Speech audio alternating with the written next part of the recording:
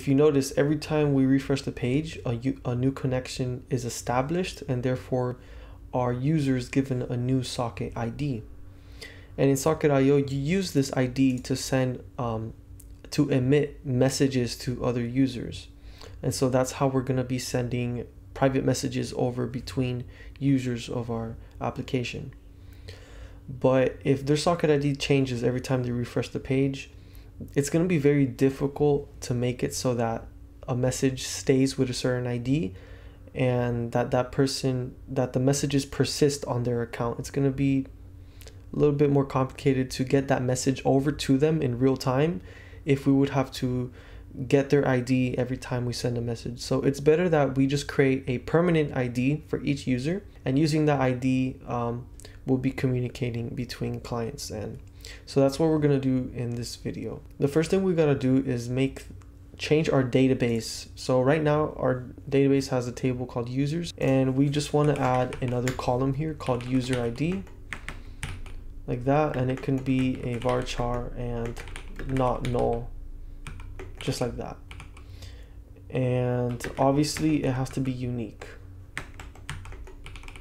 okay so we can go in here into PSQL to Postgres and I'm going to connect to our WhatsApp database. And I'm just going to drop the table called users. And I'm literally just going to copy this in and make the whole table again like that. And what happened?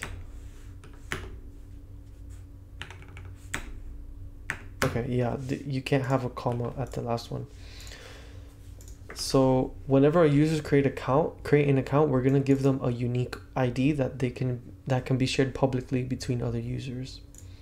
So over here well in our uh, functions here in our attempt to login and attempt to register we're going to change some things here.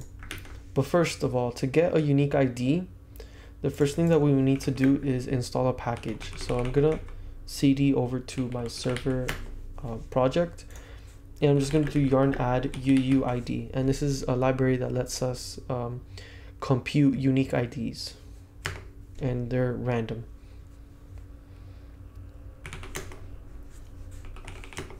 And so here, in this file, our auth controller where we're making user accounts, we're just gonna import that package. So const is equal to require UUID.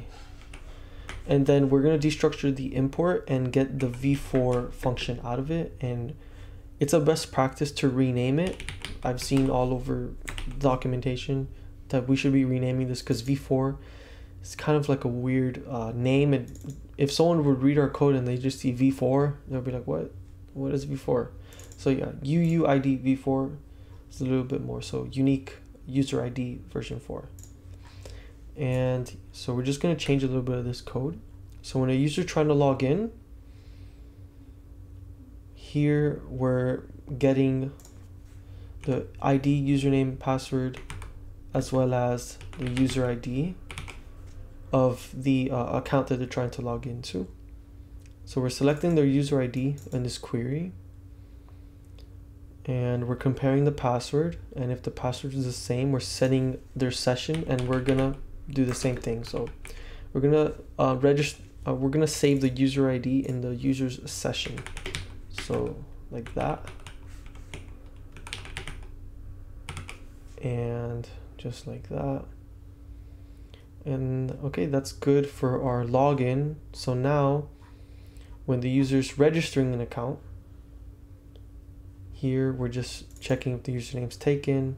If it's not taken we make an account and here's the query to insert into a new account so here we would want to insert into the user ID column um, a new value and the value would just be whatever um, this function returns, which would be a unique ID. And then in the session, we want to save that. So new user query, and we want to return it from the query as well. So make sure we have access to that new um, new row and the new field that we just inserted. So like this, like that, okay? And so now we're saving the user's ID in a session, in their session, and in the database. Okay. So we're all good there. And now um, to get that to get that user ID from the user session into Socket.io, it's pretty easy. So here you see we can just make a middleware to do that. So I'm gonna go over here to our socket controller file and I'm going to create a middleware called well it could be here in the authorized user one um, if the user is authorized then we can just do socket dot user is equal to socket dot request dot session dot user. And destructure that. Oops. And so yeah, we're just copying everything from the user's um, session into an object socket.user. So then in socket.io, all we gotta do is uh, to access those values, we just have to access socket.user. So yeah. And then we can just print out user ID. And I'm just gonna do that like that like so. Okay. And then let me just make sure this is all correct. So in the auth controller, we're saving the user ID like that in the session, request.session.user. Perfect. And in here as well. In here. Perfect. Okay. So um, let me refresh this page.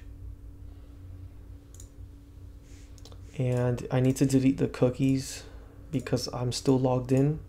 So I'm just going to create a new account. And I'm going to go over in Redis. And I'm just going to delete all the um, values. So then our session is completely destroyed. And so let's try to log in. And it should give me an error. Yep, wrong. Because there's no account. So let's create a new account. and let's go over here to our server and let's refresh and it's undefined okay and something's wrong here oh it's because I'm doing capital and it's lowercase I think yeah yeah yeah okay so yeah see um, we're getting a unique ID on every connection. So this is gonna be this unique ID is gonna serve as like the room because every socket connection by default is in its own room. And so we're just going to make users send events over to this ID and then the user that has this ID will receive it and it will show on their screen. And if they're not online we'll just save it in Redis. And when they're online they'll get all the messages and the pending messages. And since now every user has a unique ID that ties to their account, we want to make it publicly available for all of our Socket.io clients. And for that, I'm going to use Redis. So in our authorized user middleware over here, I'm just going to import our Redis client. So const Redis, um, what did I name it? Yeah, Redis client is equal to require Redis. So here we're just going to do Redis client dot h set and what this does is it basically goes into our Redis database and it sets or creates a hash map or a JavaScript object, if you want to think of it like that. And so the first argument it takes is the name of the hash map or basically the key. So this could be anything you want, but in this case, we're going to do user ID colon. And this is just a standard in Redis. You would prepend it with a word or something that will identify its purpose. So I'm going to change this to backticks. So then we can do some spring string interpolation here. And so I'm just going to do socket dot user dot username. So the hash map is going to be called user ID colon and then the user's username.